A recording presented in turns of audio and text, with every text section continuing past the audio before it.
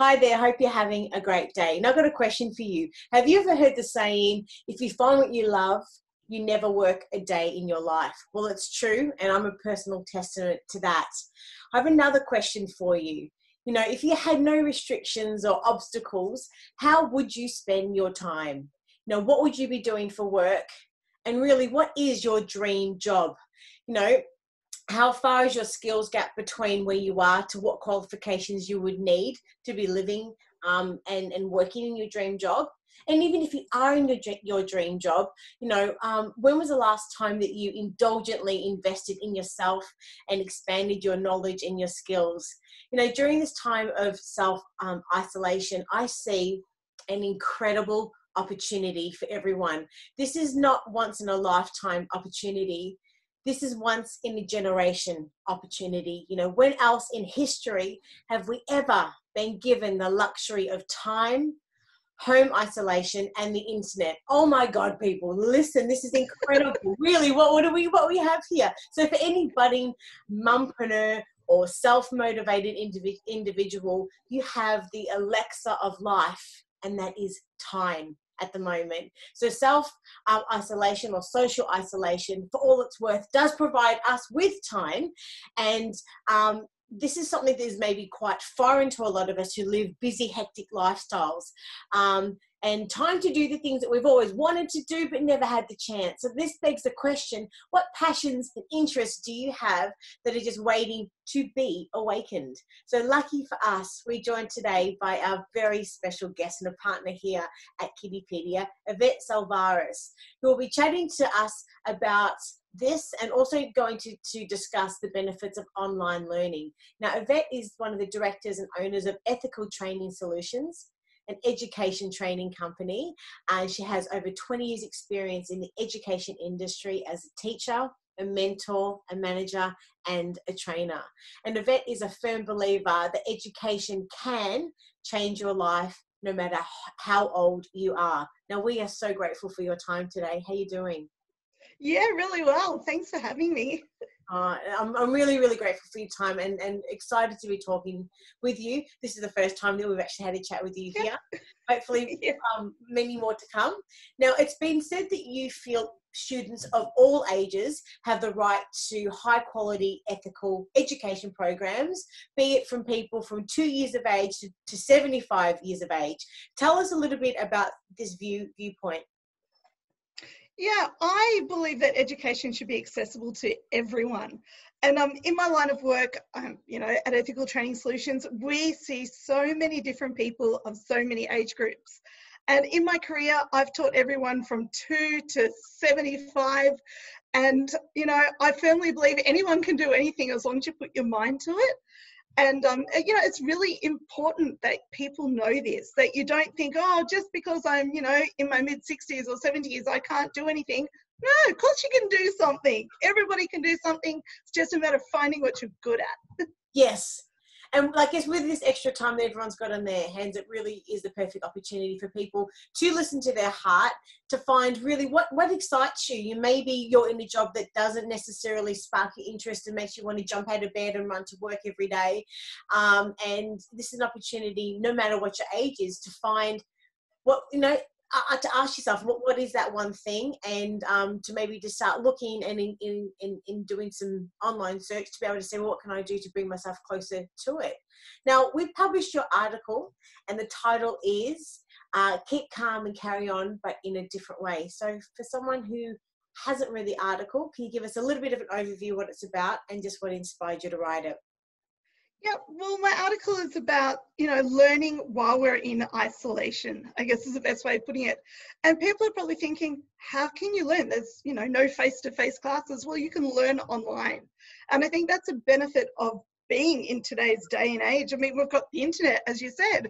We have so much technology at our disposal that it's you know why should you waste this time? You should be using it to do something to learn something. And i mean i'm not necessarily saying like a new career. I mean could i mean you might have lost your job. You might want to do like an accredited course that leads to something. But you could learn hula hooping. I mean that's just something random. But um use this time. I mean you know, you're sitting there in front of a TV, probably watching Netflix. Why not watch a how to do something video or like learn a new skill? So that's what my whole article is about, is about using your time effectively to learn something and broaden your education. And um, during your career, do you have any examples that you can or would like to share with us about this um, about, I guess, people sort of taking that plunge and changing the tra- trajectory of some point of their life, if it's just learning new information and skills, if it's as big as maybe changing their career, um, but starting with an online course. Do you have any, any examples that you could or would like to share with us at all? Yeah, I do actually. I have an example of one of our very first students to come through one of our training partners and do her, I think it was diploma in early childhood back in 2015, and she graduated in 2016. She was in her mid 60s. She had left her job, so she was in a job in customer service, and she wanted to kind of take a different angle on things. So she decided to do a diploma in early childhood, and believe it or not, not. now she's working in a childcare centre as a team leader, and absolutely loves it. And um, when she came to us, she was like, "Oh, Yvette, I'm too old to learn." I'm like, "No, you're not. Um, anything is possible." And um, she attended face-to-face classes because we're only doing face-to-face at that time, so you know it was class-based. And obviously, she hadn't been in a school for years, you know, like never done anything really. And um, yeah, she qualified, graduated, and is now living her life and living her best life, as we say, because she absolutely loves what she does. So that's probably my best example. So, and as you said earlier on, there really is no no age gap as to what what people can do, and and to be able to follow their their, their passions and learn that information. If it turns into a career or what have you, but perfect opportunity to use this time. Um, thank you for sharing that. That's awesome. We've got lots of questions we need to get through, so let's get stuck with question number one. Alrighty. Now, what is Udemy, or how do you pronounce it? Udemy. It's like a really strange word, isn't it? Udemy. It's like an online university. I guess it, that's what they're trying to do. I guess when they named it. But um, Udemy is like an online course marketplace. So when I say marketplace, it's like this amazing site full of every possible online course you could think of in so many categories that you could sit there for the next 10 years and learn a new skill every day sort of thing. It's actually amazing. It's mainly non-accredited from what I, my understanding of it so it's not your diplomas or your certificates or anything like that it's mainly your short professional development type courses or personal development type courses and um, they're really fun. I'm actually doing two at the moment, believe it or not. See, teacher never stops learning so um, yeah, so I've taken what course am I doing? I'm doing neuro linguistic programming, which is just a new skill I want to learn. Yeah. And another really bizarre one, hypnotherapy, because I thought it would be fun to do. Why not? Yeah. so so yeah. And for someone, I haven't seen the platform before, but for someone that's now going to jump online and have a look at it, um, how would you maybe suggest like where, do they start and where do they start navigating and sort of connecting the dots between their passions their interests and really what's out there? Yeah so i would suggest udemy because everything is there presented to you so it's not like you have to do a Google search. I want to do a course on hula hooping, just for example. Um, at least, why not? I'm just, you know, who knows? Someone might want to. Good luck.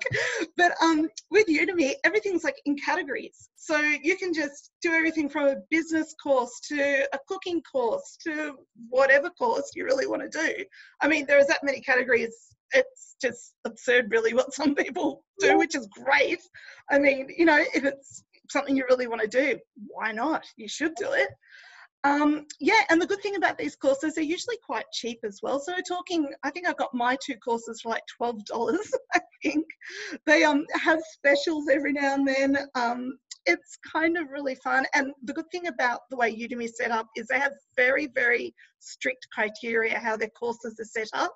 So it has to be a mix of video Um, and text based learning, and it actually has to have an outcome. So it's not like a YouTube type thing where anything's on there. It actually has to be a structured course with an educational content and an outcome, no matter what the subject matter is. Cool.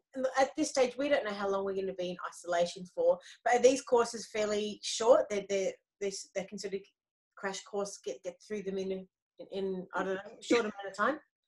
Yeah, yeah, like there's so many different like lengths, I guess, and types of courses. There's, you know, they usually have the time allocation, you know, for them. So the one that I'm doing now, I think it's like a 14 hour course, but um, I'm nowhere near through it all because I'm too busy doing other things, which is a bit of a pity because I really want to get through it. But there are really, really short courses. There are really, really long courses. There's um, all different lengths. I guess if you want to get a skill in a day, yeah, you could just sit there and knock it out in a day. Awesome. Um, yeah, it's really cool. And what about if people, for example, want to sort of take it or and or looking for more of a higher education, um, maybe getting a diploma or a certificate in something at the moment? Is there any other um, websites that you could suggest they maybe they look at um, to do a bit of a search at the moment? That's a really hard one because mainly that's to individual training organisations and registered training organisations and TAFEs. Mm. I know the one that my company partners with, which is Melbourne College of Further Education. Um, we work very closely with them just to help people get into the right courses. And I know they're looking at moving their certificate level qualification and diploma in childcare online to get us through all this. So I've been told our students will be dialing into Zoom, doing a Zoom sort of conference, similar to what we're doing now, yep. but it will be at their class time, which is amazing. So just like they're sitting in class, they could be sitting at home in their PJs um, doing their course. And the really good thing about it, learning doesn't stop and learning continues. And if there's a placement component with your course, which is usually the case with childcare courses, that can be done once all this isolation is over. So you can use this time now to do the face-to-face learning, to do your assessments, to do all the theory, and then practice your theory in placement once isolation is over. Perfect. Um, so even if Udemy is at the course and you're looking for something in a higher education, at least use this time um, to do all your the- theoretical um, yeah. stuff, which is yeah, all your learning. Yeah, that's important thing because you can get qualified. You know, some of these courses are, you know, a certificate would go for say maybe six months. Imagine you're in isolation for three months. Well, you've only got another three months, haven't you? And then you're qualified. So um, it's, it's perfect. You can finish isolation with a qualification or working towards a qualification. Love it. Love it. Let's get stuck into question number two. What are the benefits of online training? Well, the benefits of online training, apart from just sitting at home in your PJs, is the fact, which is great, right? Why not? Yeah, it can pretty much be done anywhere at any time and um, at your own pace. I think that's really the important thing. Is sometimes people feel really overwhelmed, especially if they haven't done any training or any education for a while. Um, if you're doing it online, you can stop and start when it kind of suits you. So work at your own pace, have time to digest the information that you're learning. And also, which I really like doing too, is going back. So if you're learning something and you're watching a video, reading, whatever the, the content is at the time, if you don't quite get it, you can go back and watch it again and let it sink in. And I think that's a really great thing about online learning is it's self-paced um, you can do it in your PJs. But apart from that, it's just really good because you can do it at your own pace and take your time, which I think is really important when you're learning something. Yeah. And the whole thing is, like you said, with, with, with everything online, the world's your oysters. Pretty much anything and everything you pretty much could learn, and or you know, this skill you really can acquire, um, which is awesome. Um, now, question number three: How hard is it to create your own online course? This is an interesting question. So, what sort of people would be looking to start an online course, do you think? Well, first of all, it's so easy to do an online course. If I can set one up, then anyone can set one up. That's my theory because I'm the most non tech savvy person probably on earth. Just ask my husband. But I have managed to set a whole online school up for ethical training solutions. But anyone can do it if you've got a really good skill. And I'm going to use my husband as this example because I've been on his back for like the last 12 months saying, He's really passionate in gardening. He's a really great gardener. He should set up his own course on gardening because he's great at it. So that's like a great example. Anyone can set up an online course, you know, with any skill. It doesn't have to be like, you know, childcare, like I said. It could be gardening, it could be cooking, you could be, you could be like a, a guitar teacher and do a you know class on that there's um there's so many things you can do and it's so easy if you find the right platform that's the main thing um and you can experiment with different media too. You can do videos, you can do text based. There is so much you can do. And now you're in isolation, best time to do it. So, what sort of platforms would you say for the, for someone to be able to then on sell um, an online course? What are your recommendations for that? My recommendation is Thinkific. Now, I'll be honest with you, I am a Thinkific ambassador here in Melbourne. So I do a lot of meetups. Thinkific.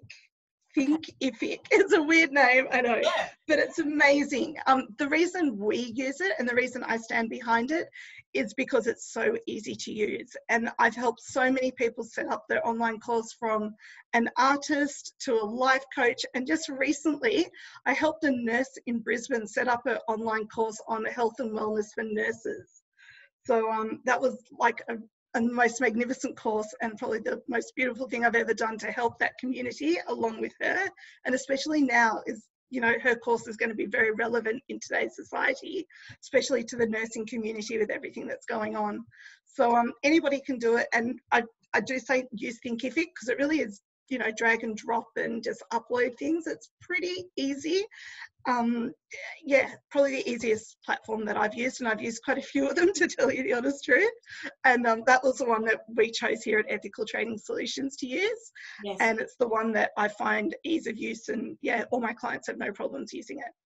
We've given us some really inspirational, insightful information today. If you were to paraphrase everything that we've just spoken about, how would you like summarize it for someone watching?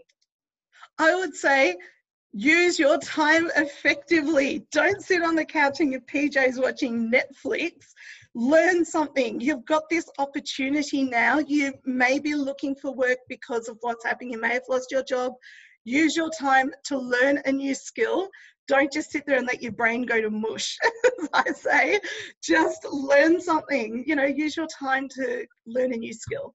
Yes, and I really believe like what we do and how well we spend our time during this self isolation period really is going to determine how strong and well we come out at the end of it. If it is going to be two or three months, might be longer, we don't know. But you know, use the time wisely. And I honestly believe that great companies and great people evolve and grow in times of hardship. So the question really is to everyone watching at, at home, are you going to be one of those people? Are you going to be one of those people that are using this elixir of time that we have uh, and this, this once in a generation opportunity of being home in self isolation with just time and the internet? I tell you what, leading up to where um, I, I am now with Kiddipedia, I worked full time, working 60 hours a week plus building my, my side hustle, which was is Kiddipedia, and it just sort of now got to the point where I can actually work in the business full time.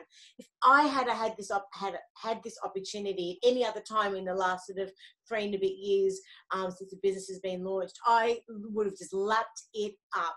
So it's a wonderful opportunity for everyone out there to be able to to take stock of who you are, what your interests are, what what's your passion, what legacy can you be building uh, in your life to be able to um, set this up and um, and it's, it's a bit of a paradigm shift I think we're having at the moment. Everyone is really taking stock of what their personal values are. We're slowing down. We're thinking more. Use this time, everyone. And I'm so grateful for your time today uh, to be able to at least you know spread this this thought of online course and online learning to everyone watching. Now, if anyone's got any other questions, um, how can they find you and um, and where are your links? I guess. Yeah, okay. So you can go to our website, which is www.ethicaltrainingsolutions.com. And we have a Facebook page as well. So if you just type in Ethical Training Solutions, that will come up. Um, that's probably the best way to find us. And all our emails and our Facebook groups, all that sort of stuff is there. Wonderful. Thank you so much for your time. And I can't wait to chat with you again soon. Take care. Stay safe. Stay well. Thanks, thanks, Rach. See ya. Bye.